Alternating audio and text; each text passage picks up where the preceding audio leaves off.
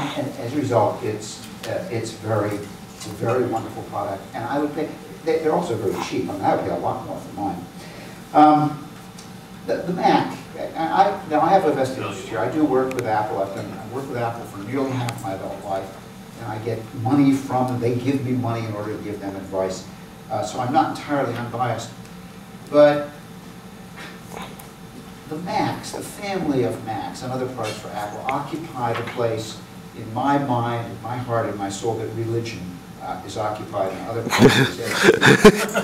we are in the process, you and I, all of us in this room are in the business of building something that has quality, whatever that means.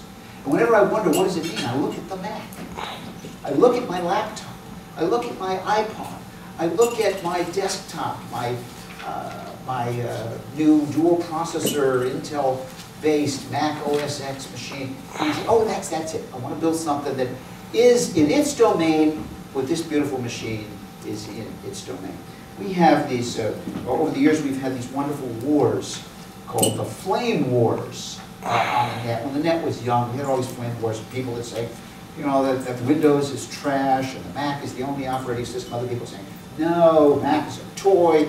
Windows is the only, you know, Windows is real world and so forth. Now, the, those flame wars, and nobody ever convinced anyone. Nobody ever convinced anybody. But there was a really interesting thing going on. The people on the Mac side of those flame wars adored their Macs, whereas the people on the Windows side detested Windows. Why did they take the position they were taking? Well, because vested interest. They're deep into it. They've learned how to put their elbow on the control key. they've, they've invested themselves in it, so they've got to be defensive of it, but they hated the thing that they were defending.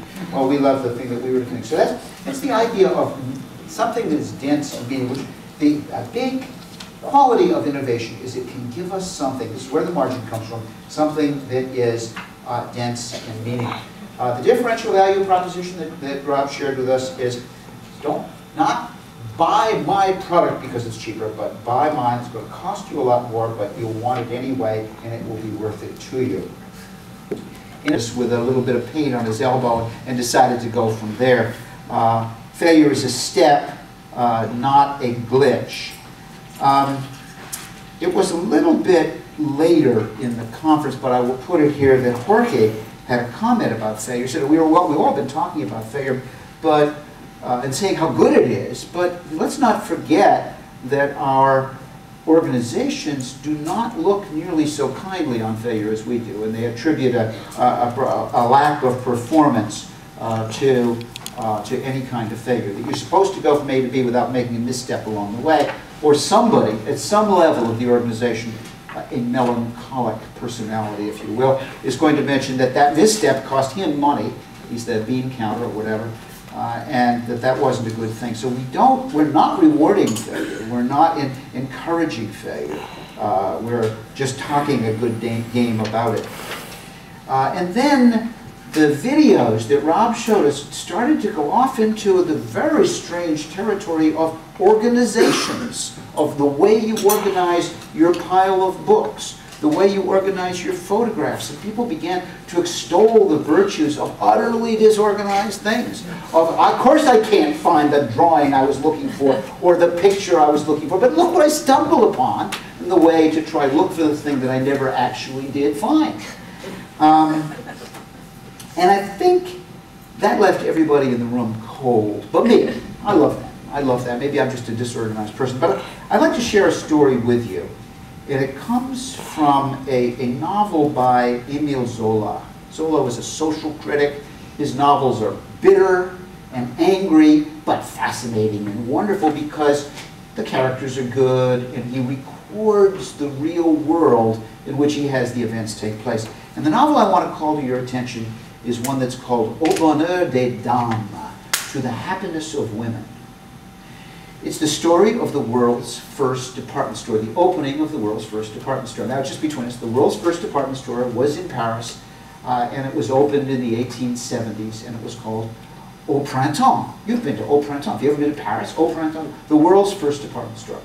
He has fictionalized it to the extent that the department store here is called Au Bonheur des Dames, uh, and the character called Mouret is a thinly veiled portrait of the man who actually founded the, uh, the world's first department store. Now Zola is mortally offended by a department store because it's putting all of the drapers out of business. And the second character in the story is Denise, who is a draper's daughter. Her father's being put out of business. Without anything else to do, she goes to work for Murray. She falls in love with Murray, but eventually rejects him because he is doing this terrible thing of starting a department store and putting the drapers out of business. Well, that's the story. The scene I want to call to your attention is the night before the opening of Au Bon Regard. They've spent all this time building the building and building the counters, hiring the porters and the sales clerks, one of which is Denise. And Murray, during that night, has everybody in there working until 3 a.m., putting the goods out, putting the maternity dresses here and the children's, uh, the, the infant's clothes here and the children's clothes next to it, in orderly progressions uh, from the pots and pans to the scrub brushes to the, uh, uh, to the soap that you use to, uh, to clean the, uh, the crockery. Uh, and at 4 a.m. they're all done, and at that point he says, no, no, no, I was wrong. And he has them scramble everything. So when you go into the store, as in any department store you go into today, nothing is where you expect it to be. So you have to go through everything to get to anything. A stroke of absolute genius. I don't know what it has to do anything, but it's a great story. then we